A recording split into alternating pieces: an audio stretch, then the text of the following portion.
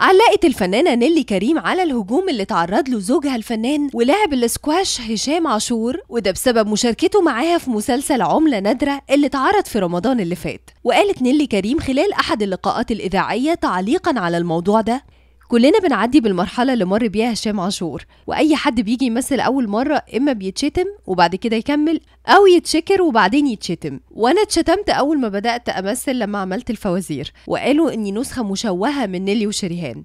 الفنانة نيلي كريم قالت كمان اتكتب عليا مقالات فيها شتيمة أول ما بدأت أمثل خصوصا مع تجربة الفوازير. وبعد الشتايم اللي تعرضت ليها لقيت سيدة الشاشة العربية الفنانة فاتن حمامة عايزاني معاها في مسلسل وجه القمر. فقلت لها الناس كلها شتمتني وانت جبتيني ليه؟ فقالت لي انت كويسة قوي وماليش علاقة باللي بيشتموا.